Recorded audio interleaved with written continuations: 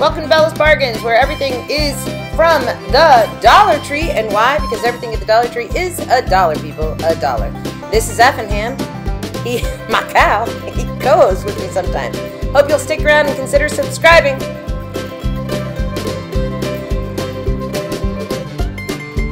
Bella's Bargains, take 21. You know Dasher and Dancer and Prancer and Vixen, Comet and Cupid and Donner and Blitzen.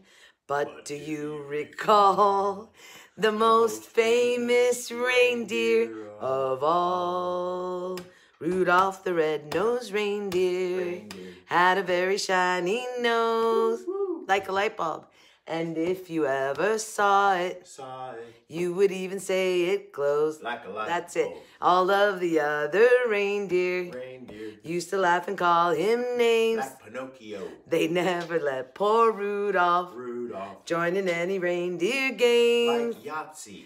Then one foggy Christmas Eve, Santa came to say, Rudolph, with your nose so bright, won't you guide my sleigh tonight? Then all the reindeer loved him, Loved him. and they shouted out with glee, Rudolph the red-nosed reindeer, Reindeer you'll go down in his story. like Christopher Columbus. Thanks, honey. Okay. Go go to work now. I filmed looking like this because he has to leave. Come here. Bye. Bye. And um and I wanted his input on that funny song. All right. But I want you guys to notice I'm wearing today, I'm actually gonna wear this for work. Oh hi, welcome to Bella's Bargains. My name's Amy. I'm gonna wear this to work. So Reba, really good bestie Reba, sent me some gnome stuff, and this was part of it. This gnome scarf, which I absolutely love. And so I'm gonna wear it today. Barely not right now. No, I'm totally gonna wear it today. Um, and so I put it on because Reba, today I made something with some of those gnomes that you sent me. Now I'm in here. I'm I'm literally filming this in my robe because I woke up this morning at five. I got it, made my craft, and then Marcus had to go off to work. Let me show you how to put this on. So I twist it, and then I'm gonna come back down underneath and knot it. We're gonna see if this works. I'm not even looking at a mirror. You can't really call the camera on here a mirror. Okay, anyway. So I'm gonna wear my scarf today. I'm not sure I did that right, but close enough, right? So I love the gnome scarf. Anyway, look at my hair.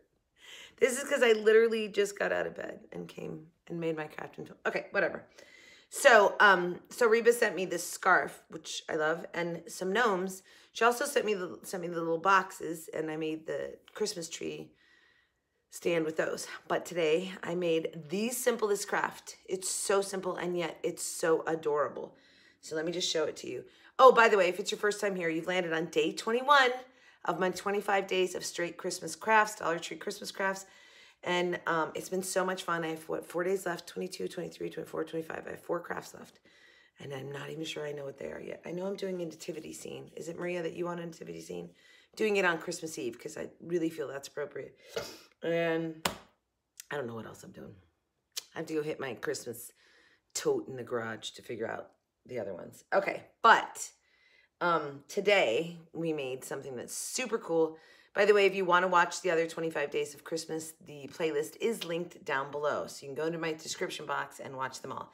If you've never been on this channel before, it's Dollar Tree, Dollar Tree, and only Dollar Tree. And why? Because everything at the Dollar Tree is a dollar, people.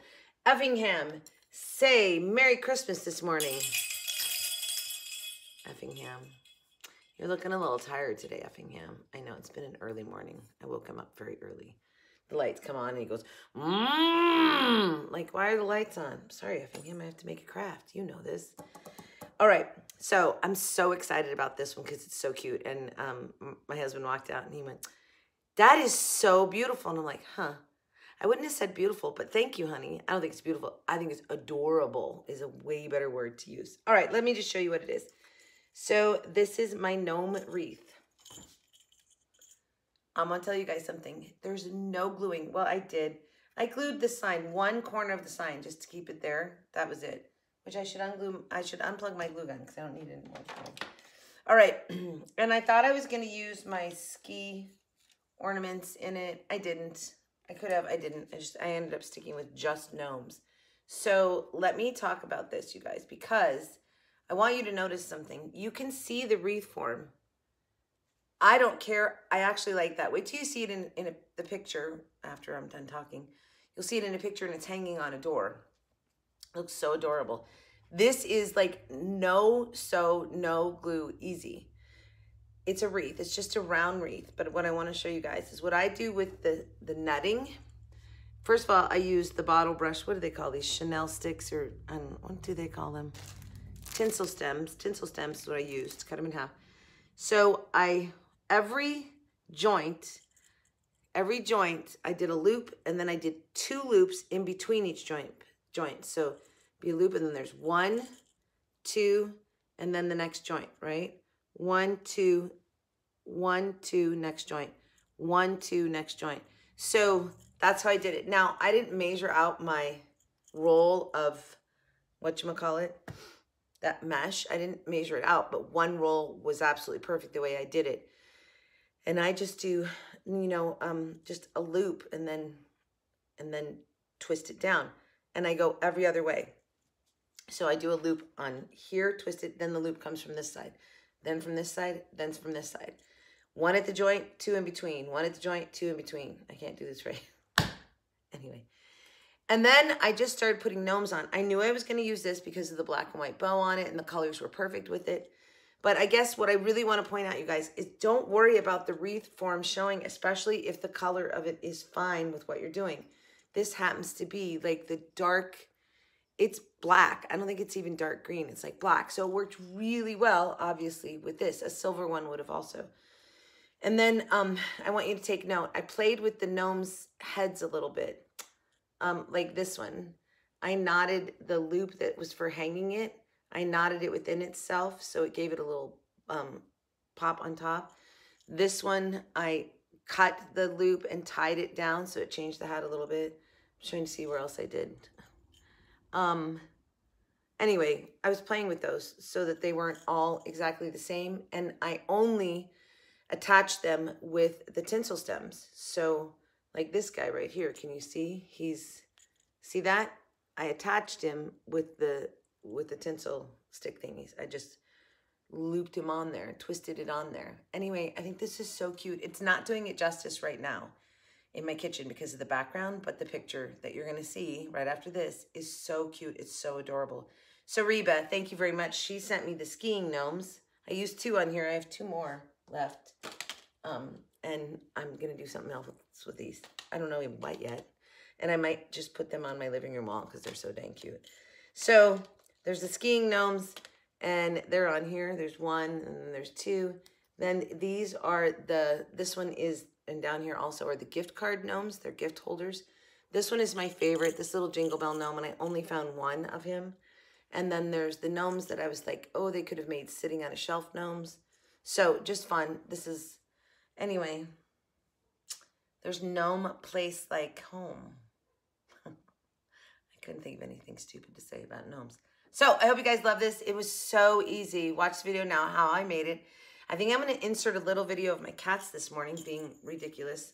I didn't get the best part of it, but I got Moji making love to his catnip banana that I got at the Dollar Tree. Anyway, um, so they've been really funny these days because we've been gone so much. So then when we get home and in bed, they're like, you know, oh, you're home. So this morning when I got up, then they get up. It's like, oh, we're up. Mom's up. Let's get up. So they were, um, Boji was playing with his catnip banana. It's kind of funny. He loves that thing. All right. So that's it. Have a great day, great week, a great life. Um, and as always, from your singing crafty crafter, happy hunting at your local Dollar Tree give me some sort of Christmas emoji right now if you absolutely love the gnome wreath. And at the end, tell me um, what has been your, no, we'll save that for the last day. What's been your favorite of the 25 days? I don't know. Anyway, tell me Merry Christmas. Say Merry Christmas to each other. Let's have a Merry Christmas fest on my comments today. All right, guys. Uh, hey, and it is Christmas. Merry Christmas. Be kind to one another. Love you guys. All right, besties. Enjoy the rest of the video. Don't forget little kitties at the end. And I'm going to go get ready for work now. Look at the lipstick. Is this hideous? But I wanted him to sing that part of the song, so I had to do it before I got dressed because he was leaving so early. Because it's actually like It's 6.30 in the morning. Okay, guys. I'm gonna go get ready for work. Enjoy the rest of the video. We'll see you back here tomorrow for day number 22 of my 25 days of Christmas. Enjoy.